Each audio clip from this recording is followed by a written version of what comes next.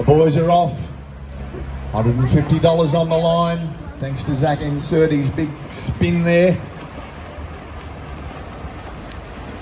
A couple of members of the Olympic team, of course. Brendon Smith, bronze in that 400 IM. He's in lane three. Moved up from Nunawading to Griffith. Zac Incerti also moved from WA to join uh, Peter Bishop's group in Marion.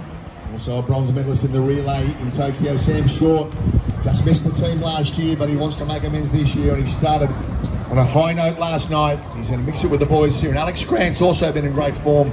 The young 21-year-old from Miami club here on the Gold Coast. As the boys come down for the towards the 100-metre turn, and it's uh, game on here. Bit of cat and mouse going on.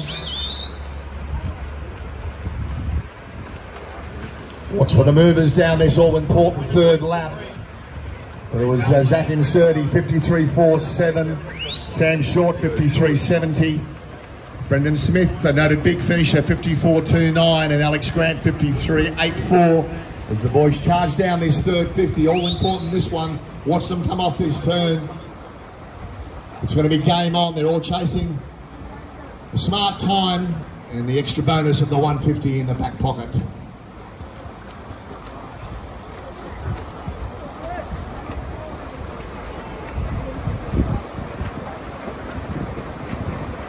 It's the big fella.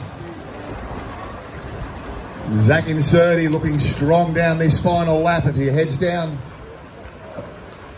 to the finish. Powerful swim here. He's spun and he's won.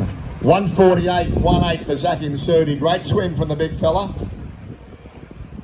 Sam Short hanging in there too, 149, 6-1 in second. Alex Grant coming home, 150.